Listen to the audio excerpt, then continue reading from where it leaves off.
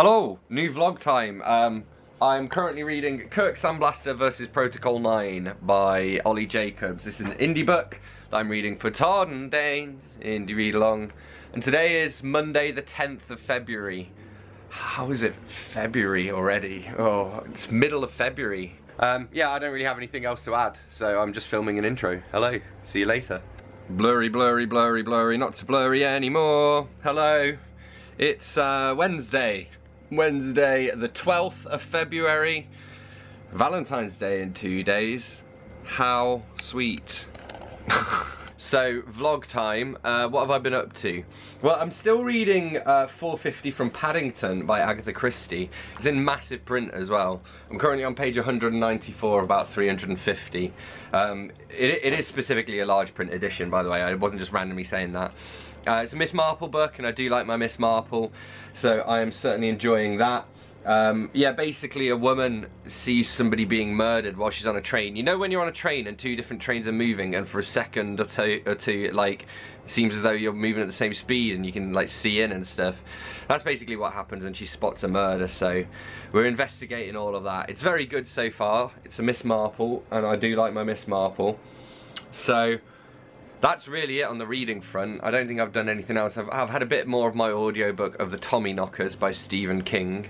And I've been reading a bit more of uh, Deliberate Prose, Allen Ginsberg's selected essays as my, my bedtime read. So we've got all that going. Yesterday I went to the open mic. I actually wasn't going to stay for long and then I ended up staying until the end. Um, but it was because the, the drinks were cheaper than I remembered, so they were 3.45 for a pint. Whereas like at the Bellevue, I went there on Sunday and I bought six pints and it cost me 30 quid. So whereas at the Chiltern Taps yesterday I bought three and a half pints and it cost me a tenner I think. So yeah, it seemed like a better deal. And I played some songs with Dave, tried out some new ones with him uh, that he didn't know we were going to play, I just got him up. He'd also taken his bass along so he ended up playing bass with some random guy, so that was nice. Went to the supermarket earlier and got some food. My fridge is broken, that's a thing.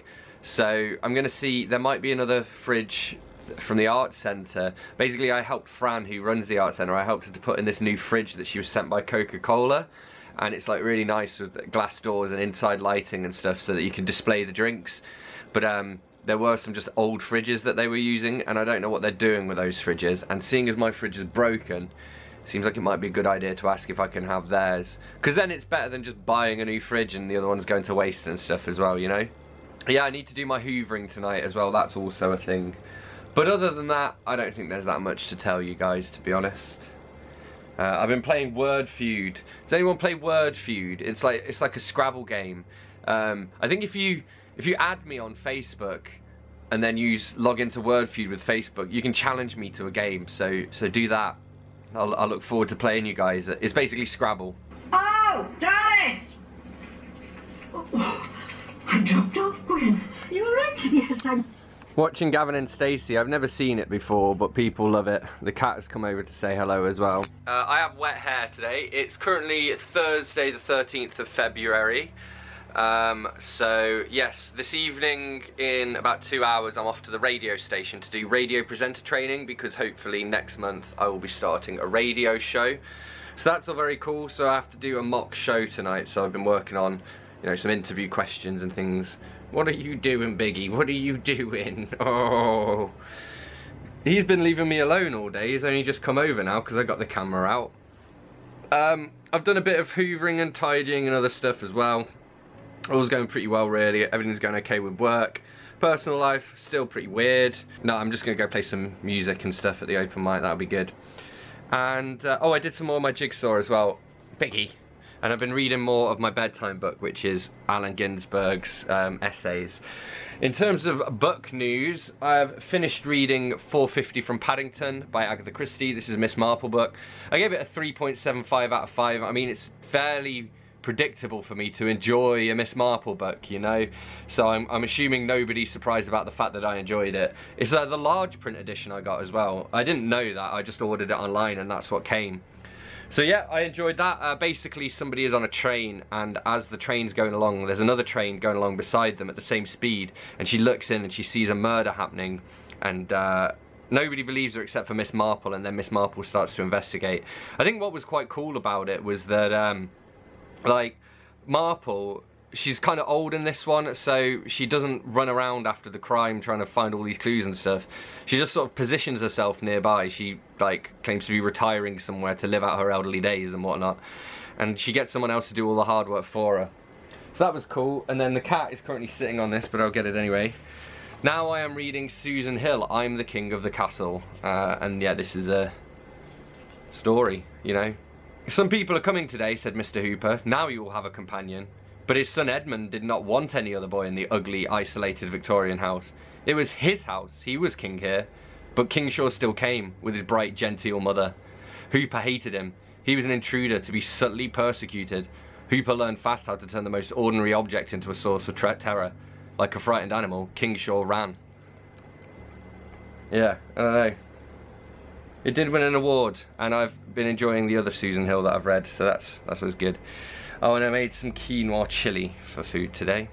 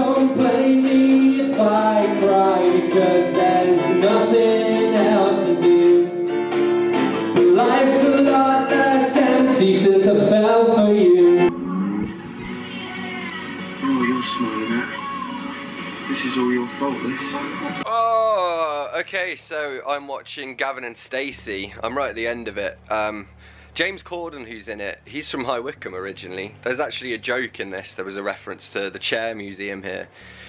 It is Saturday, the 15th of February. I am very hungover, um, but later on I have to go and work the bar at the art centre. But I am getting paid to do it, so that's nice. And um, it's like a rave, some sort of rave. I don't know it sounds really weird because it's organised by like college students, so they're not old enough to drink. But apparently there is going to be a bar because there are going to be a few adults there. But mostly uh, it's just going to be constantly IDing people all night. So uh, maybe a shower will make me feel better. I went to the open mic last night. It was good. I played some songs with Dave. I played some songs solo. You've seen the footage actually because I've been editing that today.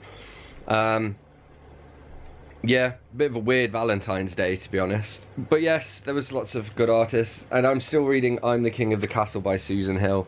It's really very dull, I'm not enjoying it at all, but I've only got about 50 pages left to go, so I'm going to finish that, and then I think I've got Hercule Poirot's casebook. Oh my god, I feel, I don't feel good at all. I shouldn't feel like this.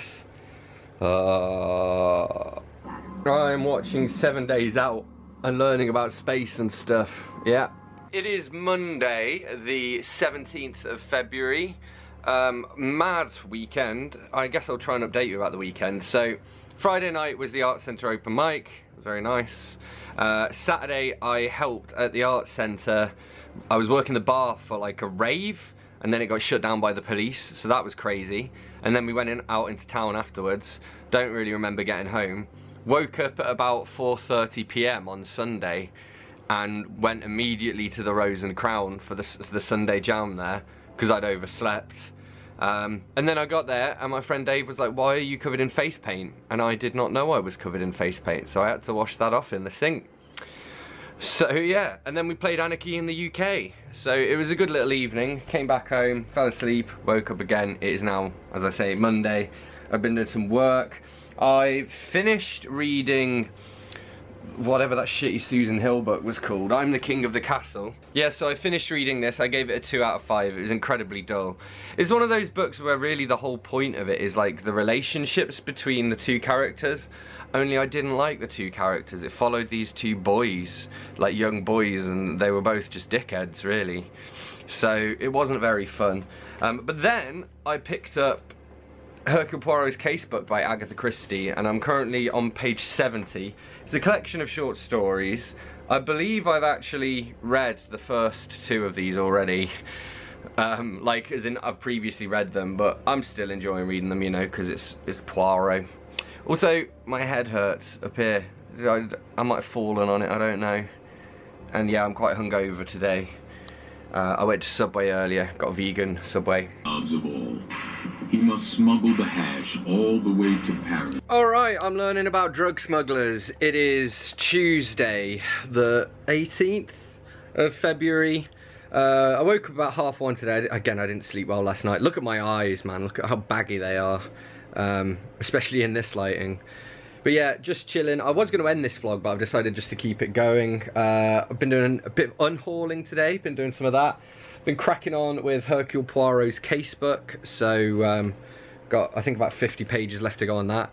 It's alright, but I think I've read these stories before in a different one. Um, I think I have done that a few times because I got like a master list of every Agatha Christie book, and some were published like, so especially the short story collections, there are like different collections in the UK and in the US, so it sort of depends which one you get, you know? But yeah, I've been enjoying them so far. It's on course like 3.5 out of 5. And then I think up next I'm going to read uh, A Wrinkle in Time by Madeleine L'Engle. Uh, tonight there is an open mic night which I might go to, but I don't really want to get drunk, so I might go along and drink some lemonade and just play a few songs. Um, maybe take a notebook as well so I can try and be productive. Just save money and then obviously when I get in I'll be able to do a bit more work as well. Um, but it would be nice to get out of the house. And I think that's all I've got for you really.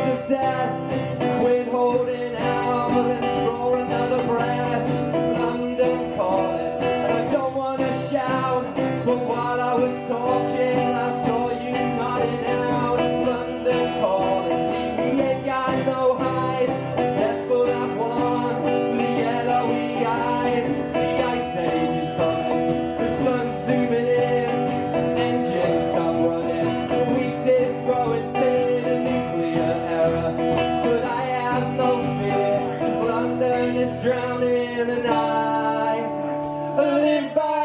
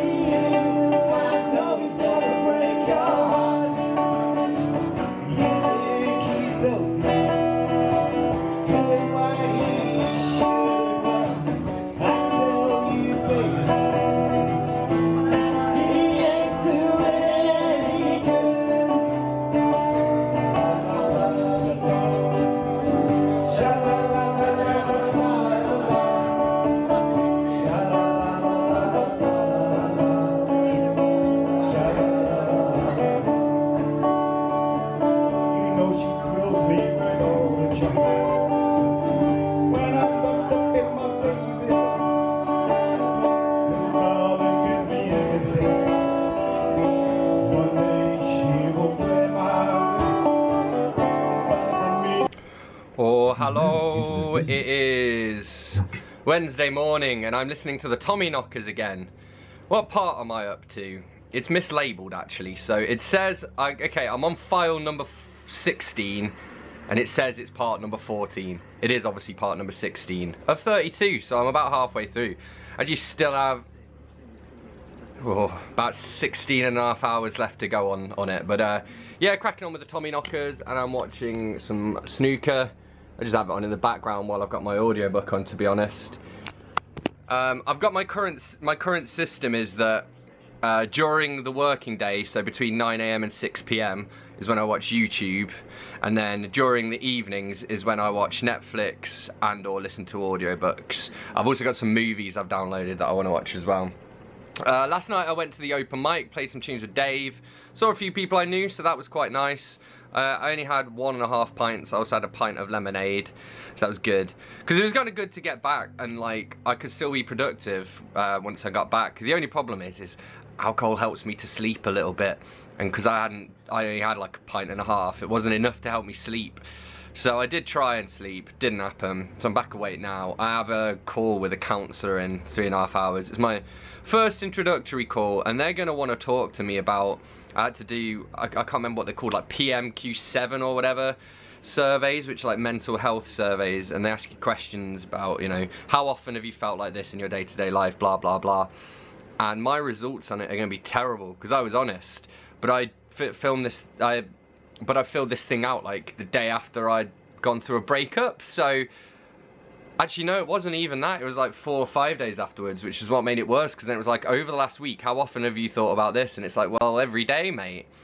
But I am doing a little bit better, so there's that. Camera's currently flashing to say it's low battery. Uh, I finished reading Her Hercule Poirot's casebook. Uh, that was a pretty solid 3.5 out of 5. And now I'm reading A Wrinkle in Time by Madeleine L'Engle. Uh, I'll probably do a review of it. It's okay so far. I'm not like super impressed. But as I say, it has been alright. And, um, you know, I, it does have this sort of timeless vibe to it. But at the same time, I, I feel like I'd rather just be reading Enid Blyton. Uh, and then next up, I have We're Living Through the Breakdown, and here's what we can do about it by Tatton Spiller. Uh, this is one that I was sent, but it's non-fiction about politics and stuff. I will probably pick it up shortly, I imagine, yes. I don't know, I'm not sure whether to pick it up next or not, so we'll see. I guess we will, yeah. I'll update you on that later. Alright, and I'm going to film a new video today on my reduced TBR because I've been cutting it down. So it's just going to be, you know, footage of my shelves, I guess, with me talking over them. oh man, I'm well tired. It's currently 25 past 2. Um, I've, what have I done today? I went to town to go to the shop to get a few bits from there and um, I also had my like screening call with uh, something called Healthy Minds, which uh, they offer like mental health guidance and sport and all this stuff. I think I'm going, I'm being sent to some um, depression group classes, so I will report back to you and let you know how those go. I did anxiety group classes last year, so I guess it's just building off that, innit? Uh, picked up some fruit food from Tesco as well and I'm just trying to keep going even though I'm exhausted. Basically, once as soon as it pretty much as soon as it gets dark outside, I think I'm going to get into bed with my book and my colouring in, and uh, try and get an early night. Uh, I'm still reading A Wrinkle in Time. I'm on page 200 of about 250, so I should finish that this evening as well. And uh, I will be doing a review for it too. Alright, well it is that magical time again of snooker and the Tommyknockers. Thursday. Yesterday, um, I managed, I made it up until about 4 p.m. in the end, and then got into bed, read for a little bit, and then fell asleep. Woke up again about midnight. It's now 8 a.m. in the morning. I haven't slept. I have been to bed twice, but I was una unable to sleep.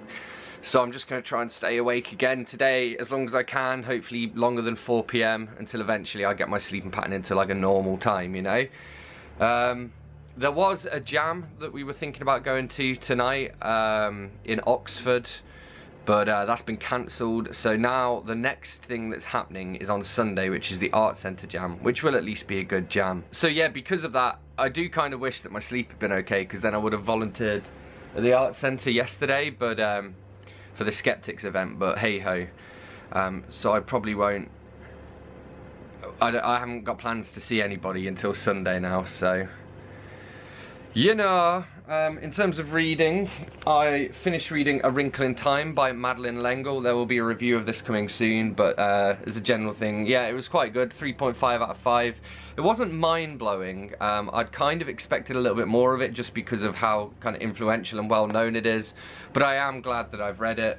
I honestly probably would have preferred to have been reading some Enid Blyton and especially some rereads of the Faraway Tree books. But it did have a little bit of that Blyton magic, you know? And now I'm currently reading We're Living Through the Breakdown and Here's What We Can Do About It. Well, I think it's just called Breakdown by Tatton Spiller. Uh, this is a non-fiction book that I was sent in the post. They didn't ask, they just sent it to me with a press release. And uh, it sounded awesome, and already I'm really enjoying it. It's basically about the state of the world today. So, so far I'm still uh, in the chapter on how other people think, so it's talking about um, the different thought processes people follow, why people are conservative versus liberal, that sort of thing. And I've learned that apparently I am probably a socialist, which I didn't know, because I, I don't really go for labels, you know? I just believe in what I believe, but I guess if you put a label on it, you would probably call me a socialist. replied. As usual, peace until they get I have back. got my Stephen King audiobook on and the snooker. Nine and a half hours left of the Tommyknockers. Um, so I'm getting that. I'm supposed to be rereading The Catcher in the Rye this month as well. And I reread via audio. And basically I must have started the Tommyknockers in January. and I still haven't finished it. But nine and a half hours. It's currently 20 to 3.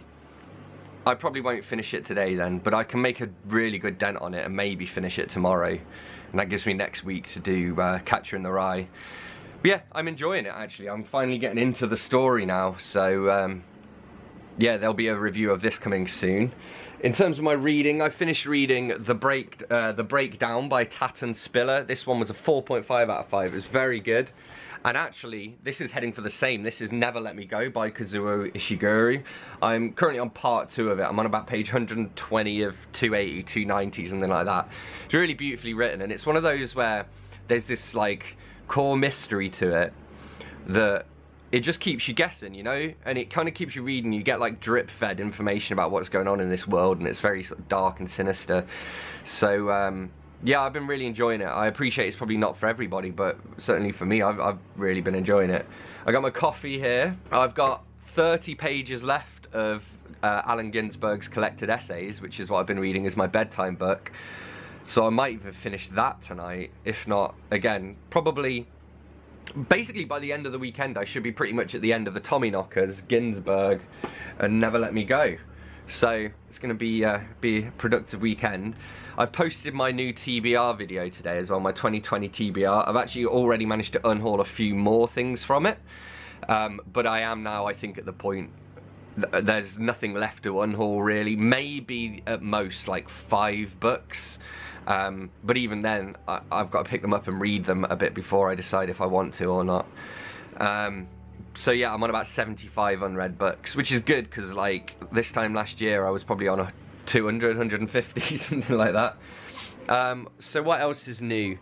Uh, yesterday, I didn't film an update yesterday. I did have a very productive day. Uh, and then in the evening I went to the art centre and I just helped Fran behind the bar and I did help do some like cleaning up a store cupboard and stuff. And it was pretty cool because it was oh and I did some training as well. I'm the first person to do it and I'm half done on the training so that's good. Um, but yeah uh, um, it was a, an under 18s open mic with like the winner uh, gets to perform at Frogfest which is a local festival thing which should be good I might hopefully go to see that this summer so that was what I did last night and then I just came home just, just did some work I've been doing some overtime I'm doing some more today I've actually got a call later um, but I want to try and save up a bit of money. I might do an update video talking about what I want to do with my life in the next year. I don't know, let me know if you'd be interested in that. Let me let me know in the comments. Because um, there's some stuff which, I don't know, it would be good to get some people's opinion on it as well. But also, it's like a, my kind of my plan and I haven't told either of my parents yet and it kind of relies on both of them helping me out a little bit.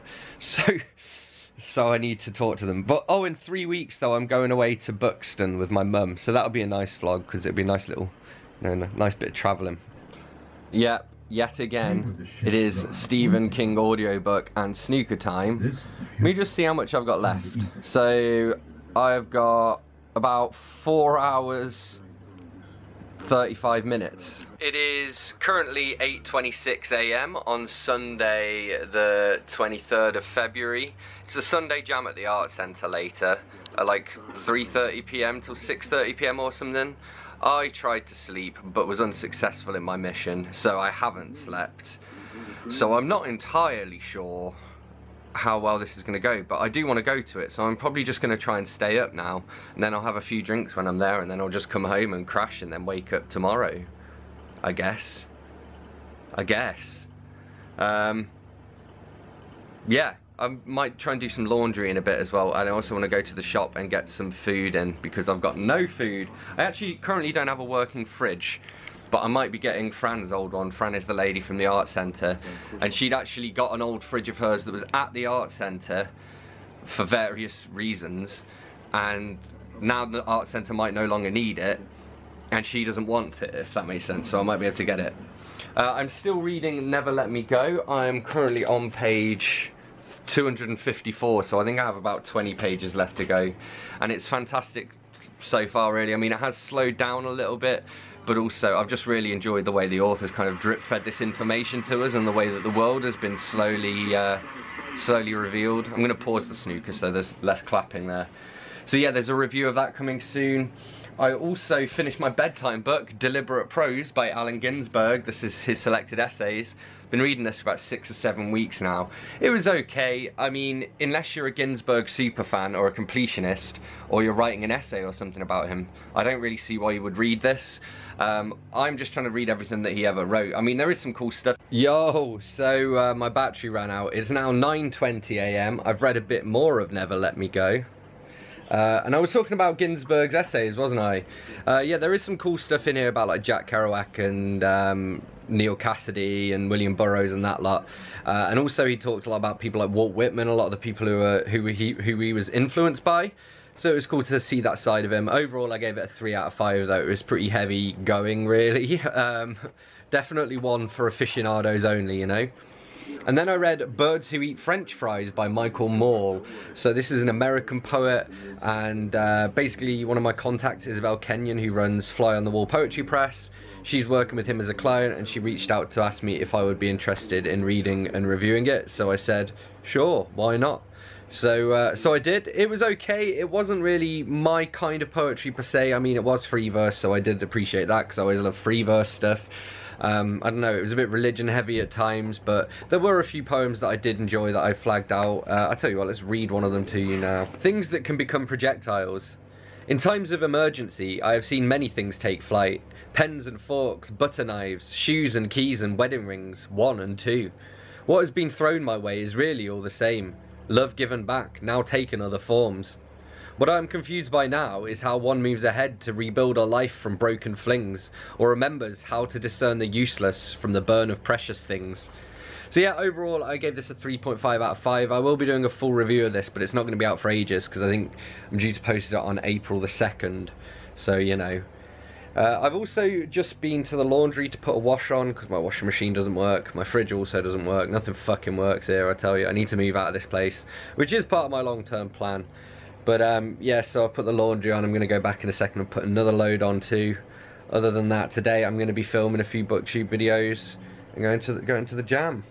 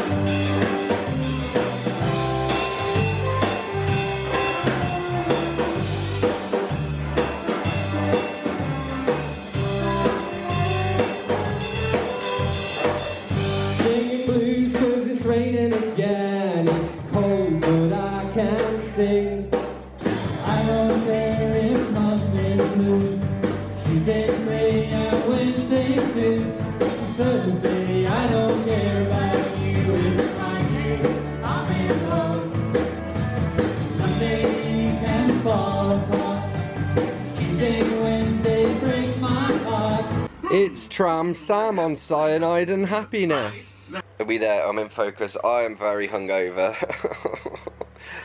so I went to the art centre yesterday for the Sunday Jam and it was good. I played some songs with Dave and then um, I ended up like working behind the bar a bit because the woman who runs it is pregnant and the noise was too loud so she like legally wasn't supposed to be in there. Um, so I worked the bar a little bit and then after that one of the people I was there with, he was like, do you want to go to the Bell in Risborough where there was an open mic? So he was driving, so he drove me and Dave there and back. So yeah, was drinking for like six hours, but played twice, so that's good.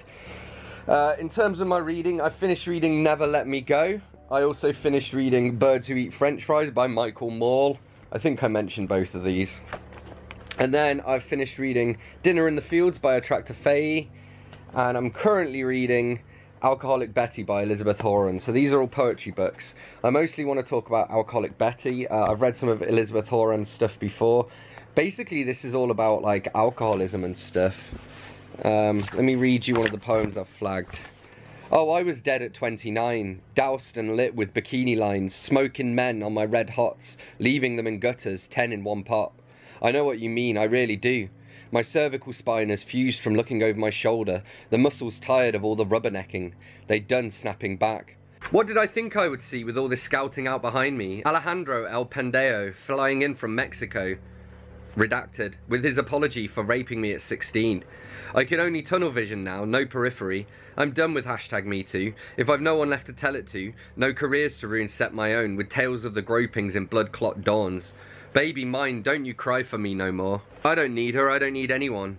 I need water, endless geysers, want to wash the grime off me, burn with sulphur any trace of violations which occurred on the dermatological construct of me, Daddy. I lied, I need you. You knew I was coming back around with this. You know my tendency for neediness, but it is only with you I behave in this way. I don't smother any others these days. I let them go easily, like old coffee spilling in the driveway. Our histories dispel as smoke, even as they pivot away from me. I will be okay. Alone is really good. Alone is what I make of it. And death is only a month away. The prior repertoire of eating souls is not for me anymore. I only need you. Light be crave, get me through this night again. Give me one good dream that is not of broken bottles slashing, trolls hidden in the casings, hot dogs penetrating, showers of gold teeth cascading, children lost forever and naked, predators in the woods instead of chickadees, flitting around snatching babies. This is why my neck is fused from the midnight run. I must have been talked in.